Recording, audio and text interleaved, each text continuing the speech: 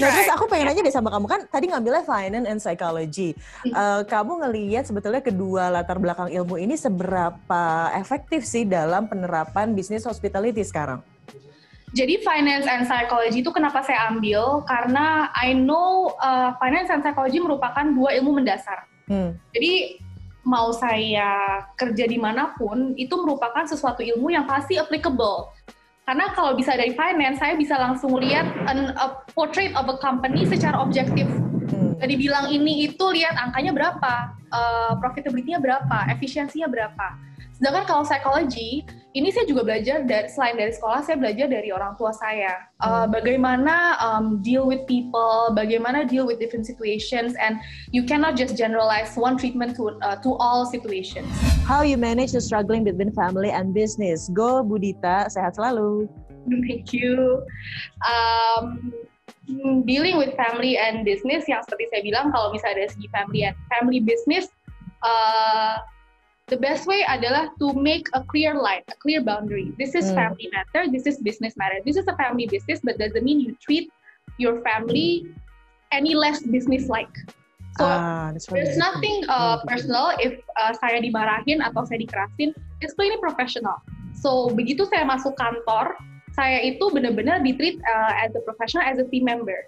Hmm. Dan uh, itu merupakan suatu kunci menurut saya keberhasilan untuk perusahaan-perusahaan family business yang bisa sustain long generations. Karena di situ ada clear boundary dan clear establishment bahwa just because uh, that person is family doesn't mean dia punya specialty. Ngomongin soal uh, the new era atau the new travel gitu ya. Sudah ada new normal, travelnya juga di, disesuaikan, di adjust. Soal yeah. road trip misalnya gitu ya. Sebelumnya mungkin nggak kita nggak kepikiran ngapain road trip gitu ya. Dan again ketika sekarang infrastrukturnya udah bagus, kamu sendiri pernah nyobain nggak dari Jakarta ke mana gitu dan finally oh, juga ya ini keren banget ternyata Indonesia ke mana dari mana ke mana waktu itu Dita? kemarin aku dari Jakarta ke Borobudur udah hmm. dua kali actually mbak and okay. um, like I said itu beneran yang it took me six and a half hours mungkin plus minus kalau misalnya sampai aku memang nggak berhenti ya. Jadi kalau misalnya berhenti mungkin tujuh jam. So hmm. berangkat pagi jam 5 pagi sampai around lunch time so to me that's perfect. Karena menurut saya saya lebih suka berangkat pagi karena nggak hilang hari sayang kan? Betul betul betul. Jadi start day-nya very early gitu ya.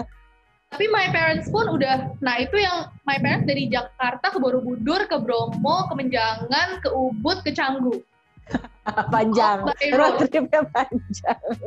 Kamu kan punya Gia, usia masih dua tahun. Concern juga sama namanya uh, protokol kesehatan, pandemi. Ya. Kalau saya sebagai ibu-ibu kayaknya lebih parno. Nah, gimana caranya kamu supaya manage juga ke keluarga, ke anaknya juga dikasih pengertian bahwa eh maaf ya harus pakai masker ke mana-mana dan sebagainya. Gimana tuh cara komunikasi ini? Cara komunikasinya adalah uh, to lead by example. Jadi hmm. mau nggak mau orang tuanya harus rajin pakai masker, rajin cuci tangan, dan juga anaknya dikasih pengertian bahwa kita pakai masker itu untuk kebaikan kamu. Dan menurut saya bukan hanya stop di kebaikan ya Mbak, tapi hmm. merupakan um, tanggung jawab. Kamu tuh tanggung jawab, kamu punya keluarga sekitar.